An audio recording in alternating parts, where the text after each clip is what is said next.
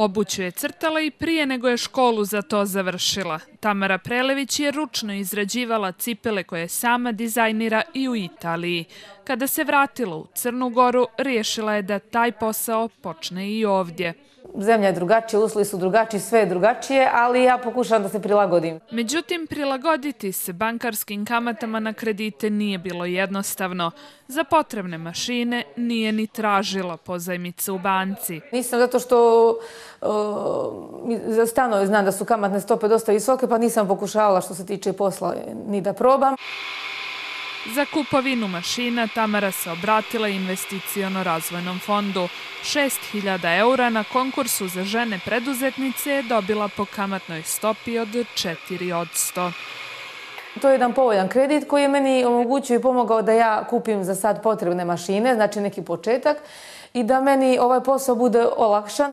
Čak joj ni papirologija nije bila ništa komplikovanija nego za bilo koji drugi kredit.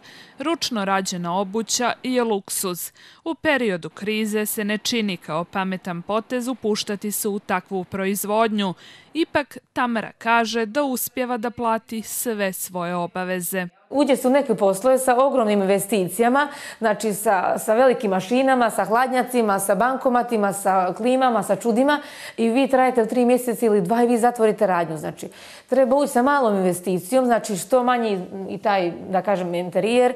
Tako i sa malim investicijama i pored lošeg stanja na tržištu, ona polako širi svoj posao. Nosim cipela, sad počinjem da radim recimo i kaiševe, pa privjeske, pa sam počela da radim pismo torbe, pa praktične torbe, spreman se rukavica. I pored svih problema preporučuje svima da se bar oprobaju u privatnom poslu.